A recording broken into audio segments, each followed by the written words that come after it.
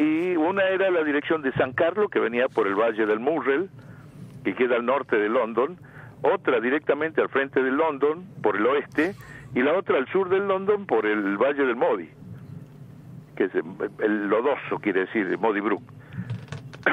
y, y eso, eso es lo que preveíamos nosotros, y cuando el jefe explica su, su operación al comandante, que era el general Joffre, dice, no, todas las compañías a primera línea. Entonces hicimos una super una super defensa que no entraba dentro de ningún reglamento, que hay varios tipos de defensa, defensa de zona, defensa móvil, defensa, qué sé yo. No entraba en ningún tipo porque era una cosa rarísima, que era un frente sobreextendido y sin reserva, primera cuestión. Y segundo, que yo le dije en esa oportunidad, le digo, pero vea que no, no, los cañones de ellos, ¿se acuerdan lo que ellos nos decían a nosotros? Los cañones de ellos tiran 5 kilómetros más que los nuestros. Y una defensa se caracteriza por ser reserva y fuego a larga distancia. Aparte de ocupar una posición del terreno que, que te auxilie, te fortifique. Y bueno, nos mandaron todas las tropas a primera línea y quedó una pequeña sección de exploración a órdenes de Galinda Matienzo, que era teniente, que era 25 hombres y unos soldados, totalmente eh, inferior en calidad y en cantidad para poder recuperar el London o, o cerrar alguna de las avenidas de aproximación. Y eso fue el asunto. Ocurrió como lo preveímos nosotros. Al noroeste se encontraba la bahía de San Carlos, donde verdaderamente estaciones eh, desembarcaron y era una distancia que le habíamos calculado nosotros de 60 kilómetros más o menos, que parece poco y mucho, pero es mucho menos cuando uno va en helicóptero. Entonces ellos se trasladaban en helicóptero con todas sus cosas y nosotros los veíamos, los veíamos, uno ve a 10 kilómetros ahí, desde arriba. Y lo veíamos pasar por delante y no había forma de que nosotros le pegáramos con nada, porque estaban fuera de alcance, así de sencillo. Hay una, hay una historia muy particular justamente hablando del tema del alcance de fuego, ¿no? Cuando ustedes empezaron a, disparar las piezas de mortero, ¿no? Mortero de 120 creo. Sí. El, el, tema del suelo, ¿no? Algo, algo Ah, no, claro. La noche del 11, sí. la noche del 11, eh, ya no sé qué era de 11, 12, no sé qué era. Nosotros teníamos que esperar para tirar porque estábamos en alcance máximo, no alcanzábamos con el mortero 120 desde el puesto comando para reforzar los fuegos sobre el Monte London. O sea, había que tirar más allá de Monte London. Y nosotros teníamos alcance hasta la cumbre de Monte London. O sea que no podíamos tirar mientras hubiera tropa nuestra ahí. Pero lo mismo, cuando empezamos a tirar a la madrugada, a las 6 de la mañana, el primer disparo no salió, porque se había llenado de hielo abajo el tubo. El segundo disparo salió y la placa base se hundió como, como dos metros para abajo. Pero tuvieron que desarmar el mortero primero para sacar la ¿Eh? primero, o sea, previamente tuvieron que desarmar el mortero y sacar la munición. Sí, primero sí, el primer el, primer al primer eh, tiro que no salió hubo que desarmar el mortero y sacar la munición que estaba armada. Qué peligro eso, ¿eh? sí, pero uno ya lo, el que el que trabaja con eso lo hace consciente y lo hace eh, técnicamente bien. Pero uno no dejaba de perdón la palabra de putear por lo que no había pasado. Claro porque quién iba a pensar que el hielo transpire por abajo, por dentro del tubo, y se condense abajo y abajo se haga hielo, el agua corría para abajo y se hizo hielo. Claro. y entonces en el segundo disparo, eh, según la, la sí, placa base... no lo recuperamos más, el mortero quedó la boca del cañón al ras del suelo. Y ya no ya no se podía tirar de esa manera porque no se podía ver el aparato de puntería. Se lo chupó una Y la segunda cuestión, en los morteros que había dos de 120 en London, cada vez que ellos empezaron durante el ataque querían tirar, en 30 segundos ya lo tenían el fuego de la artillería encima porque eran descubiertos y ubicados por el radar eh, inglés. Claro. Así que fue terrible el asunto de, de, de, impotencia, ¿no? De esas cosas que uno no, por más que quiera, no puede. Por más que quiera, no puede. Nosotros tuvimos la desgracia de perder, junto con Baldini, el teniente Ramos, que si bien no es del regimiento 7, es el oficial de artillería que estaba destinado como oficial de enlace, como observador adelantado. Observador adelantado. Y estaba con Baldini. Y son los dos que mueren primero. Y, Val- y Ramos tenía era el que dirigía el fuego desde la línea más extrema para tirar bien, apuntar bien, porque si no hay nadie que dirige el fuego, uno puede tirar para todos lados que no pega. Y él muere en ese primer eh, envión junto con Baldini. Y ahí quedamos ciegos, Ajá, ciegos claro. para dirigir el fuego de nuestra artillería. Ahora le digo que de noche era un, una, una mezcla de cañonazo para todos lados que no se, nadie sabía cuál era el nuestro y el de ellos. Claro, claro, totalmente. ¿Cómo, cómo, ¿Cómo hicieron para eh, las noches previas a, a los combates y todo eso para aprovisionar a la gente, a los soldados? Mira, los, los abastecedores de comida tuvimos hasta, calculo que hasta el día 10, más o menos haciendo la comida que se podían hacer, cocinando, porque cada compañía, si bien estaban en primera línea hacia el norte, con frente hacia el norte, este, se le podía podían llevar víveres para cocinar. y, y se abastecieron ellos y ellos habían armado pequeños depósitos que tenían para poder sobrevivir. Y después del, del, del 11 a las 9, a 8 de la noche, ya nadie pensó más en comer ni nada por el estilo. Nadie, nadie ten- ni se acordaba que tenía que comer, porque eran tantos los tiros que nos tiraron que no, no puede. Pensá que una fragata inglesa tira eh, munición de calibre 114. Sí. Eh, 114, no 10,5, sino 10 con, eh, 114, que es el más, más grande que la de 105 del Otto Melara. Y tira 24, 25 tiros en un minuto. Y cada bala pesa eh, 23 kilos. Así que multiplicar eso por minutos, ¿cuántos kilos de explosivo tiraban encima? Tremendo, tremendo. Y nosotros, cada mortero automela- eh, cañón automelada podía tirar seis tiros más o menos en un minuto, este y no automático, porque había que cargar y tirar, la del barco era automático. O sea, cada barco que venía y pasaba por el frente nos venía repartiendo eh, balas de, de la punta a la otra del- de, todo el frente que daba al, al sur de la isla. Así que la cantidad de munición que nos tiraron encima fue monstruosa. Además Ellos de la- mismos dicen que en la noche que atacaron Rayleigh Ridge, Sí. Eh, tiraron 6.000 tiros de artillería sobre Rayleigh Ridge. Está contabilizado eso, ¿no? Sí, sí, ellos lo declaran, pero está escrito está en, en una revista especializada de guerra del año 84. Sí. Eh, yo tengo está en el libro está la copia de en italiano que salía en Europa esa revista y donde ellos mismos decían que nos habían tirado 6.000 cañonazos esa noche. Y claro, entre los barcos, la artillería de campaña y los lanzadores y todo lo demás que ellos tenían, nos, nos saturaron. Nosotros este, no podés combatir con un volumen de fuego tan grande y, y, y tan bien puesto, porque ellos tenían la posibilidad de dirigir el fuego por radar o observación nocturna, y nosotros ya estábamos ciegos, que había muerto Ramos, y la artillería nuestra no alcanzaba. Ah, no alcanzó a golpearlo cuando, cuando los ingleses venían acercándose. Tendríamos que haberle tirado a 25 kilómetros como tiraba el Sofma Claro. Calibre 155. Sí. Y si le empezamos a molestar de los 25 kilómetros, el, el enemigo llega cansado a la posición que está la defensa instalada. Y no lo hicimos. O sea que prácticamente llegó descansado hasta el límite, ¿no? Hasta el límite de empezar su ataque. ¿Qué le iba a decir? Eh, además de esto, además del intenso fuego naval, previamente también fueron atacados por la aviación inglesa, ¿no? Creo que hay un caído. Sí, sí. Por eso el, la, ca- yo después le voy a, al final le voy a, le voy a hacer un resumen del regimiento.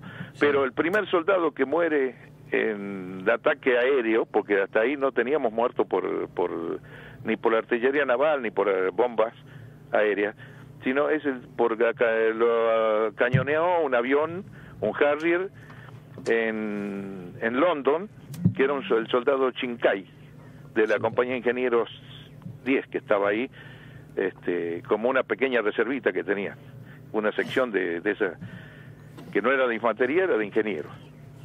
Y el primero que muere porque los aviones, una vez que nos sacaron la artillería de defensa que estaba atrás nuestro, que nos podía defender, quedó todo el, el oeste de la posición al alcance de, o libre para que pasaran los aviones a baja altura.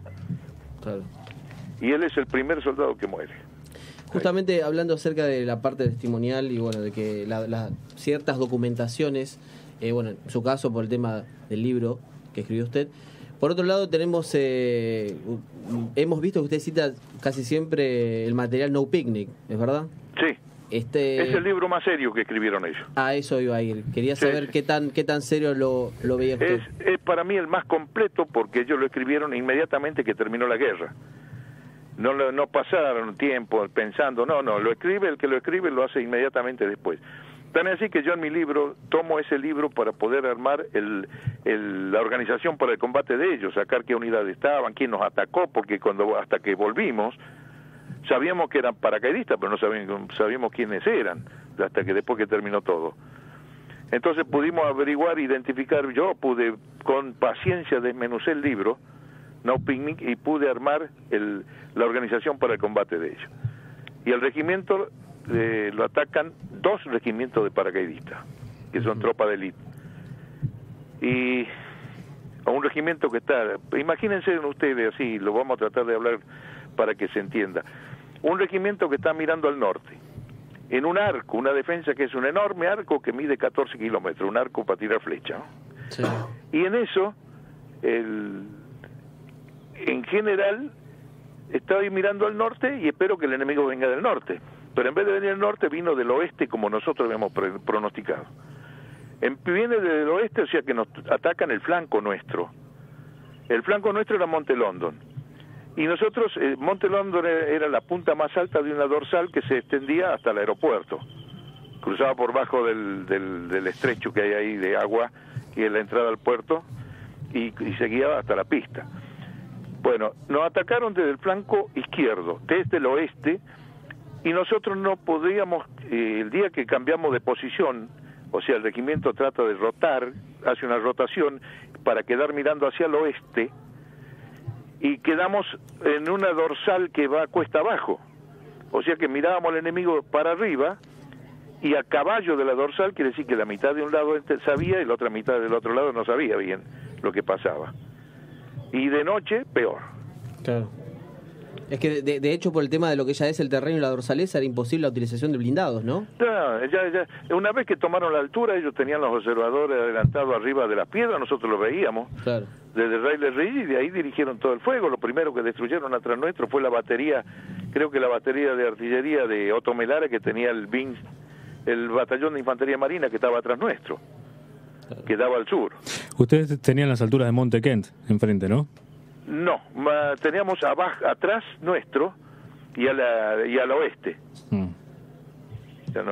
¿Y el oficial de enlace era el, teniente coronel Nani? Sí, el oficial de enlace que compartió todos los acontecimientos y fue herido y demás, y un valiente en, en, en la batalla fue Nani.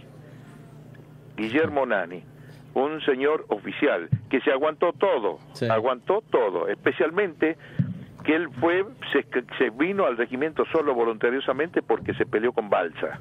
Ah. Porque el que maneja todos los fuegos centralizados de la artillería es este señor. Entonces, para tirar un tiro había que pedirle permiso a él y es el primer ladrón de honor de otras cosas. Ah. Exactamente, exactamente. Hay, hay una historia, ¿es verdad que el mayor Nani se, se afanó dos paneles de vidrio desde Moody Brook? sí. Como no teníamos ninguna posición de, ninguna obra de arte civil, ni una alcantarilla siquiera para meternos abajo, formamos un, un, un, un, un círculo de bolsas que medía medio metro más o menos. Hay una foto en el diario Clarín, salió una vez que medía medio metro y arriba entramos a poner todo lo que podíamos robar de Modi Brook, de donde estaba el cuartel de los Royal Marines.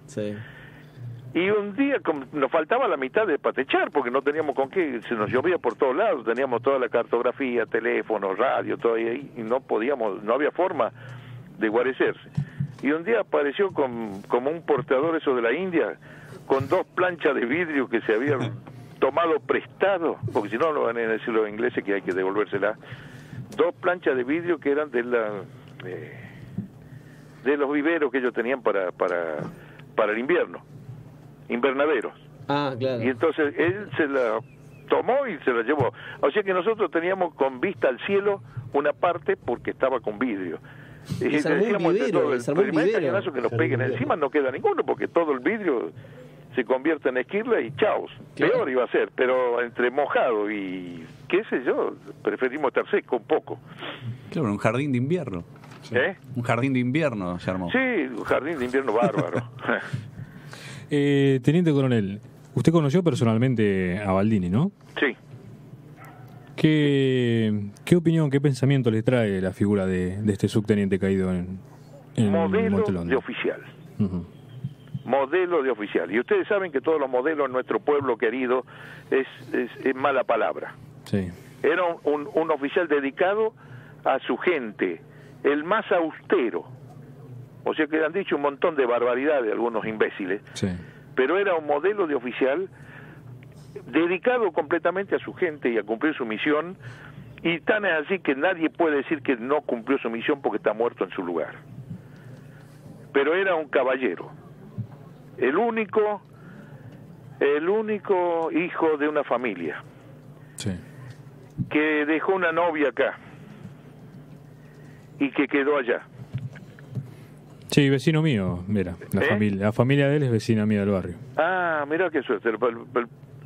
Sí, Yo tuve en algunas vueltas algunas discusiones con algunos, porque como son los padres, no tenían ningún derecho a pensión ni nada.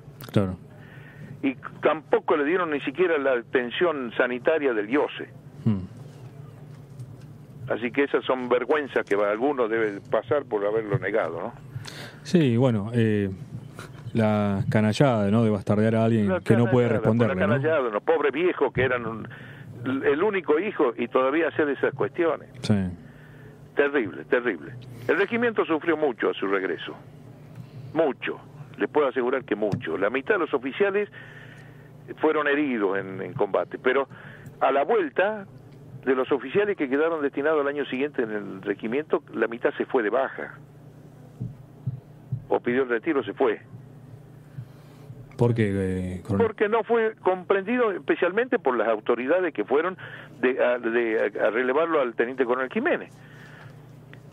Porque creían que el regimiento estaba indisciplinado y el regimiento no estaba indisciplinado, por el contrario. Tenía tanta disciplina que, que nosotros las órdenes las dábamos sin gritar. ¿Entendés lo que es una orden sin gritar? ¡Ah, atención! No, nada. Forman. Era una cosa, una luz. eh, avanzar y era una luz. Decía, el regimiento estaba totalmente disciplinado.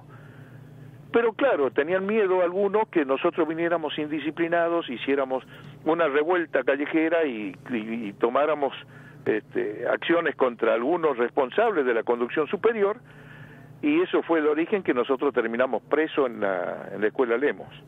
Es decir, que volvieron como Prisioneros. prisioneros. Claro. Y fuimos custodiados por policía militar desde la base del Palomar hasta Campo de Mayo. ¿Entendés? que Custodiado, no no semicustodiado, no, no, Sí. custodiado por la policía militar para que nadie se fuera. El único que se escapó vive en Salta, que es el capitán Ferreira. Teniente coronel se fue también. Típico ejemplo ya. Se escapó y se fue con su soldado, el soldado Bicot. Se escaparon los dos de del Palomar y salieron por el medio y se fueron. Y estaba herido Ferreira. Sí. y no quiso ni avisar que estaba herido y se fue. Así que por eso yo, este, esto habría que habría que contarlo, habría que decirlo y no en, forma, este, como digo siempre, si- sin pintarme los labios para contar barbaridades. Porque las barbaridades en la guerra están solas, están presentes, vienen solas, no hay que llamarlas. Pero el pueblo nuestro, si fue capaz de sacrificar una selección, entre comillas, porque salió vicecampeón, se imaginan con nosotros los derrotados que es lo que fue. Bueno, le- le- te estamos agradeciendo porque ya estamos redondeando el, el programa. Lo comprometemos a, a que esté eh, próximamente con nosotros acá en el estudio. Yo, yo solamente le quiero decir una, unas últimas palabras antes de despedirnos. Sí, no. Así, eh, lo que entregó el Regimiento 7 Coronel Conde a la patria. Salió de La Plata el 15 de abril, perdón, el 13 de abril, ocupó las posiciones el 15 de abril, hasta el 14 de junio de 1982. No tenía ninguna obra de arte civil o militar que la protegiera de la inclemencia del tiempo. Fue todo hecho con piedras, carpas, pedazos de madera lo que sea. Fue cañoneado por la Armada inglesa desde la noche del primero de mayo casi sin interrupción, ametrallado y bombardeado por la versión inglesa, especialmente al ser retirada de Modi Brook la sección de artillería antiaérea del Gala 101. Cumplió una orden de estar en alerta permanente el 80% de, de la gente durante la noche y el 20% descansando desde el primero al último día. Al terminar la batalla de Puerto Argentino, después de 61 horas de combate, el Regimiento 7 sufrió la pérdida de 38 muertos, dos oficiales, dos oficiales y 34 soldados, y 164 heridos, siete oficiales, 12 suboficiales y 144 soldados, constituyéndose en la unidad de mayor cantidad de bajas de todo el ejército argentino para vergüenza nuestra. Y solo presentó cinco enfermos, cinco, enfermos de pie de trinchera después que terminaron las operaciones. Una gran parte de la unidad fue prisionera de los ingleses en el buque Canberra que llegó el 20 de junio del 82. Y la otra fue a San Carlos, incluido el jefe del regimiento. El, el, segundo jefe estaba tan flaco que parecía un subteniente, por eso vino como el oficial de mayor antigüedad del Canberra. Y fue preso a, a la escuela Lemo. Coronel, no, no, a la noche que, sal, que volvió tres días después de la Lemos a La Plata, el regimiento salió dos horas después de haber llegado cantando la canción del regimiento. RI7 adelante, siempre altivo el invicto pendón. Así que eso, eso es mi, mi pequeña colaboración para ustedes y, muchísimas gracias por mantener en alto la bandera que a todos nosotros nos, nos emociona y nos llena de orgullo. No creo que a todo el resto de los argentinos sea igual, pero en general agradezco a todos los chicos que fueron, las criaturas que fueron al desfile el, el día 10 era fue lo más emocionante para nosotros ver que las criaturas estaban disfrazadas y, y eso nos llenó de orgullo a nosotros que no sé si alguien nos vio del parco porque yo no rindo honor a nadie. Bueno. Coronel, eh, nada, se nos fue el tiempo, lamentablemente. Eh, ya lo comprometemos para otro próximo sábado. Esta vez podemos, eh, esperemos tenerlo acá en el estudio. Mil gracias por estar con nosotros. Muchísimas gracias en nombre de todos los chicos que acá hacemos la espada de fuego. Y un honor, un orgullo eh, haberlo escuchado. Bueno, muchísimas gracias a ustedes. Gracias, coronel. Hasta el próximo Chao. sábado, chicos. Chao.